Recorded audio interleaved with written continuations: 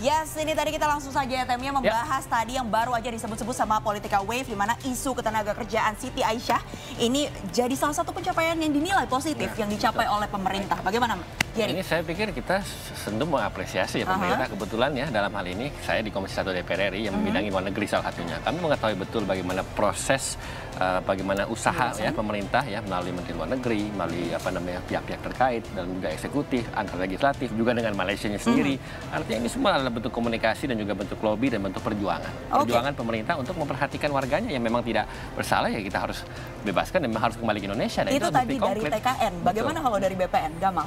Pertama kami bersyukur, kami apresiasi, kami bahagia ya mm -hmm. Siti Aisyah bisa pulang ke Indonesia. Yeah. Namun kalau kita bicara dalam konteks efektivitas kinerja pemerintah, pertanyaannya berapa dari eh, tenaga kerja kita yang mendapatkan problem di luar negeri kasus ya yang akhirnya bisa dikembalikan ke Indonesia itu satu. Kalau dari data yang kami terima ada 165 kurang lebih yang sekarang di luar negeri sedang bermasalah dan belum ada mhm. tindak lanjut okay. terkait ini. Satu. Jadi kalau satu dari 165 itu sangat minim sekali. Okay. Lalu kedua pertanyaan yang kemudian muncul kenapa uh, sampai Bapak Mahathir Muhammad ya yang kita hormati itu mengklarifikasi bahwa beliau tidak dilobi oleh pemerintah ya. Ini saya pikir soal uh, evaluasi artinya pemerintah perlu menyajikan uh, secara transparan kepada publik apa saja hal yang dilakukan untuk menyelamatkan Siti Aisyah sehingga 165 tenaga kerja lain yang sekarang sedang uh, menunggu proses itu juga bisa dibantu dengan cara yang ya. sama. Oke, okay, mungkin satu lagi, satu lagi terkait uh, isu tenaga kerja. Masalah tenaga kerja asing ini ramai diperbincangkan oleh masyarakat. Ini, ini bisa diklarifikasi sama Jerry ini. Ini jelas merupakan uh, polemik ya. ya. Yang bilang katanya tenaga kerja asing itu banyak hmm. sekali. Kenyataannya ini saya harus sampaikan kepada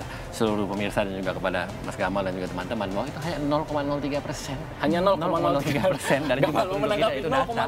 0,03 persen dibandingkan dengan Malaysia, dengan Singapura, dengan okay. Darussalam itu yang melebihi 50 persen bahkan ada 15 persen ya. itu artinya apa kita mengutamakan tenaga kerja kita yang lokal tenaga kita masyarakat Indonesia dan itu justru menunjukkan bahwa kita keberpihakan kita kepada masyarakat Indonesia yang memang bekerja dan kita maksimalkan dan kita berdayakan bukan kepada tenaga kerja asing. Gamal silakan menanggapi. Iya, jadi terkait tenaga kerja asing ini kami ini menjadi people voice mbak. Hmm. Kami mendengarkan aspirasi masyarakat, kami hmm. mendengarkan aspirasi buruh, Mayday buruh teriak di mana-mana mereka soal tenaga kerja asing di Morowali ya dari 28 ribu, 3 ribu loh, lebih dari 10 persennya itu tenaga kerja asing dan itu masih yang terdata. Belum lagi kita bicara yang dia menggunakan visa turis dan masuk. Yang mau saya sampaikan begini, kita punya dua pilihan ya, percaya buruh, percaya masyarakat ya. atau percaya pemerintah. Hmm. Tapi kami sebagai nah, oposisi memilih menjadi people voice ya. dan mempercayai ah, masyarakat dan mempercayai soal tadi masalah negara yang dan yang saya sampaikan ini perlu kita koreksi sedikit.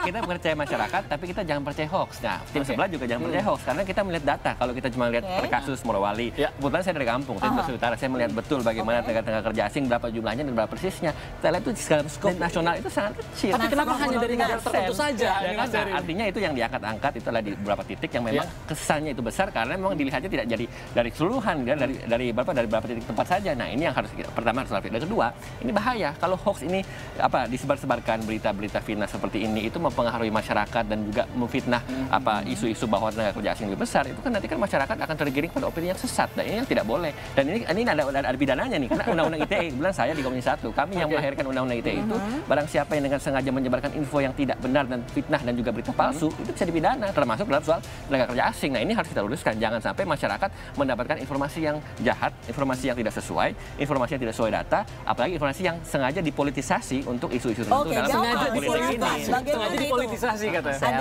saya ini kagum pemerintah, berani sekali pemerintah ini untuk melawan aspirasi masyarakat. Ya, okay. Bayangkan aliansi buruh di Aceh demo. -huh. KSPI demo, federasi ya apa buruh logam itu ikut demo di berbagai wilayah. Hmm. Kalau kami ya kita harus perhatian dengan buruh karena mereka menyembui langsung di lapangan dan hmm. mereka merasakan di Morowali bagaimana bisa dibilang sedikit. Ini kata Menteri Tenaga Kerja ya. okay. 3.000 dari 28.000. Mungkin bagi pemerintah sedikit, ribu, tapi ya kan? lebih dari 10 persen. Bayangkan penurunan angka pengangguran kita dalam 4 tahun hanya 0,6 persen. Ya, Artinya 0,03 persen itu bukan angka yang kecil. Karena banyak tenaga kerja kita 7 juta loh. Masyarakat sedikit. kita masih menganggur. Bayangkan, sedikit. Ya. 7 juta itu bukan angka yang sedikit. Oke, kita, move on sedikit.